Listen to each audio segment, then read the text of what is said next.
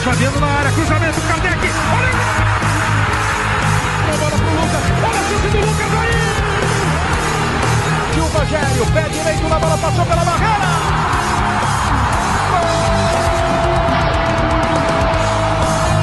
Salve, salve galera ligada aqui no canal do Barbu Tricolor, sejam todos muito bem-vindos a mais um vídeo e vamos falar aqui das notícias do São Paulo, tá? Vamos falar de tudo que tá envolvendo aí o São Paulo, muitas questões aí a serem comentadas. Antes de qualquer coisa, eu vou pedir aquilo de sempre deixa o teu like, se inscreve no canal e compartilha com os amigos o canal do Barbudão, beleza? Eu sei que tá todo mundo falando de New Balance, de nova camisa aí que foi lançada logo a 1 e a 2, já de goleira e jaqueta e de treino, de viagem.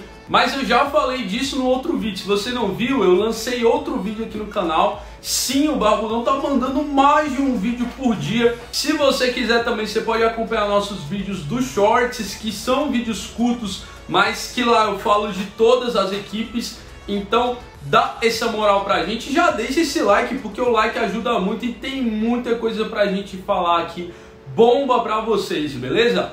Começando falando aqui a respeito do Luciano. O nosso Luciano, o nosso camisa 10, teve uma atitude sensacional. Além dele ter nas férias dele se empenhado muito e voltado no mais alto nível, tá chamando muita atenção junto com o Luiz Gustavo nos treinamentos ali, né?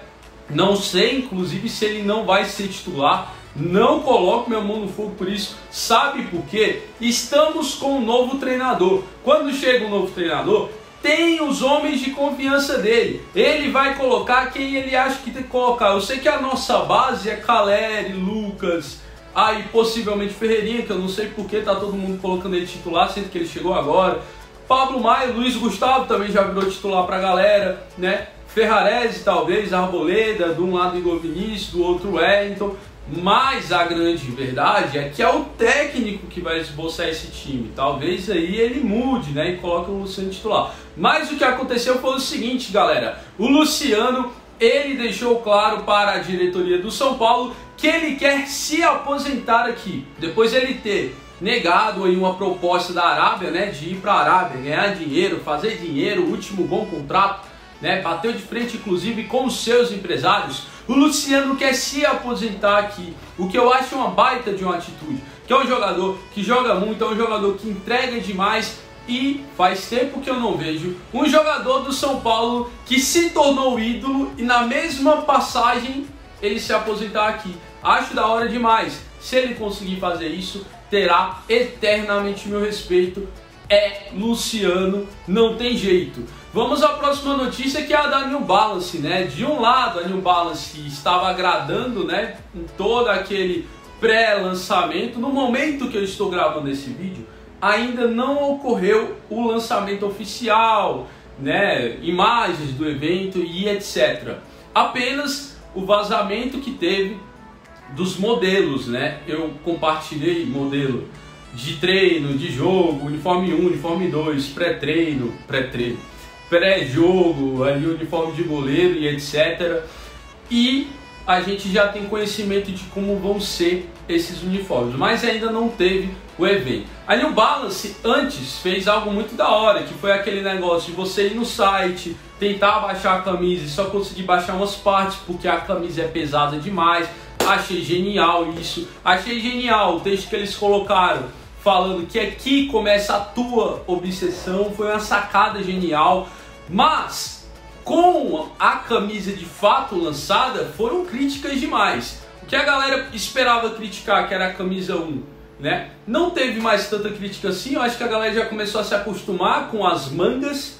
Mas a camisa 2, pelo amor de Deus, ela teve muita crítica. Mas esse não é um vídeo para falar sobre as camisas. Se você quiser ver a minha opinião detalhada sobre cada um dos modelos que vazou, vai no outro vídeo que teve aqui hoje que eu falei lá. Mas o fato é, agradou antes do lançamento e agora que vazou os uniformes a galera tá criticando demais. Teve gente falando volta Adidas, teve gente falando que a New Balance, assim como a Adidas, é preguiçosa quando se trata de fazer modelos para os times aqui. E eu quero saber a tua opinião. Qual foi a tua sensação vendo isso? Porque às vezes eu tenho a galera que me segue no Instagram que tem opinião, a galera do X tem outra, a galera do Teco Teco tem outra e eu quero saber a tua. O que é que tu acha? Deixa aí nos comentários, eu tenho um maior prazer de responder todos os comentários, então deixa aí nos comentários que certamente você vai ter o seu comentário respondido, beleza? Outra notícia que nós tivemos foi a de que Braulio, Braulio da Silva Machado será o árbitro da final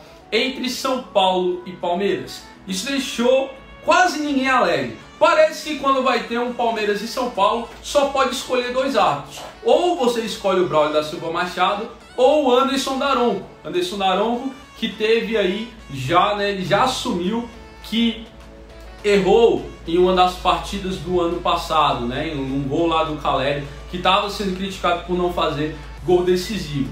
Por outro lado, o Braulio da Silva Machado é um cara que dá amarelo demais. No último jogo que ele apitou nosso, assim, importante, distribuiu os cinco cartões amarelos só no primeiro tempo. Então, assim, não sei se são as melhores arbitragens disponíveis para um jogo desse tamanho, uma final de Supercopa. Quero saber se tu gostou do nome do, do Braulio para apitar esse jogo. Deixa aí nos comentários, beleza? Porque provavelmente teremos o Luan saindo. Lembra que eu falei? Mano, Neves negociado Exxon Mendes negociando aí já para sair. É, Thales Costa vendido. Ficava uma pressão para que o Luan se desse bem aí, começasse bem a temporada e fosse esse volante de marcação que tanto se espera que ele seja. Só que aconteceu que até o momento o Luan não correspondeu. O Luan não se tem expectativa que ele tem à disposição aí o nível físico de jogar uma partida completa. Parece que aquela lesão que ele teve, raríssima, assim que chegou o Rogério Senni, mano, parece que freou a total capacidade do cara e ele nem treinando direto ele consegue recuperar aquela forma física de um tanque que corre a partida inteira, o campo todo e, e tudo indica que por causa disso ele também será negociado. E aí eu te pergunto, dá para sobreviver? Teremos Pablo Maia, que se chegar uma proposta absurda, São Paulo vai ter que vender para não perder o time. Luiz Gustavo, né, que tá chegando agora, gente nem sabe como é que ele vai desempenhar em campo. Bobadilha, Alisson. São quatro nomes, certo? Só que aí tu tem que pensar o seguinte: talvez o Michel Araújo seja usado como volante, como o Dorival estava tentando treinar ele para ser enquanto ele estava aqui. Talvez o Michel Araújo seja utilizado ali como volante, mas na minha opinião, ainda assim precisa contratar mais um volante, de preferência um primeiro volante, tá? Porque o, o Luiz Gustavo consegue fazer esse segundo volante. Mas quem é que, além do Luiz Gustavo, se o Pablo Maia sair, vai conseguir fazer de primeiro volante? Quero saber a tua opinião, se tu concorda comigo, se tu contrataria outro primeiro volante, deixa aí nos comentários. Porque o Lucas, ele deu uma opinião que na minha opinião, uma opinião que na minha opinião não deveria ter sido dada nesse começo de temporada. E eu já estou sendo criticado por isso aqui, mas eu venho me explicar. O Lucas foi hoje num programa esportivo e disse o quê?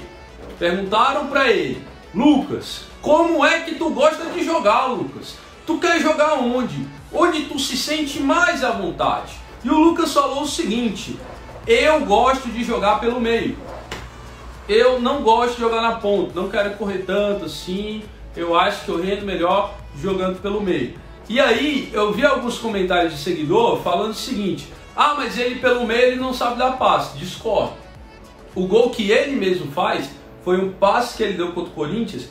Um passe que ele deu, o Wellington Rato pegou, jogou de novo nele, ele faz o gol. Como que ele não sabe dar passe? Na minha opinião, ele sabe dar passe, só que ele não é o Rames Rodrigues, né?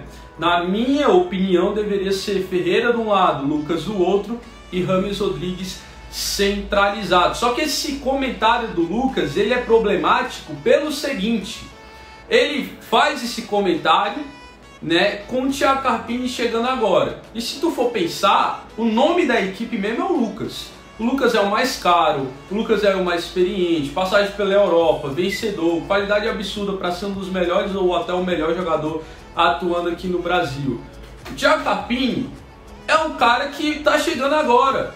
Ele tem a missão de colocar o Lucas junto com o Rames. Quando o Lucas fala que ele gosta mais de jogar pelo meio, mas ele vai fazer o que o treinador quiser, ele está deixando claro que na verdade ele prefere no meio. Né? Então, o treinador, se for jogar no 4-3-3, que é a tática que ele joga, o Caleri vai ser centralizado, ele vai ter que colocar o Lucas como meio armador ali na frente dos dois volantes e não o Rames. Ou seja, o Lucas botou uma pressão que pode acabar tirando a vaga do Rames. Quero saber o que, é que tu acha disso, se tu acha que eu estou viajando ou se tu acha que eu tenho razão. Deixa aí nos comentários, espero que esteja errado. E o Arboleda, mano, que bomba, galera.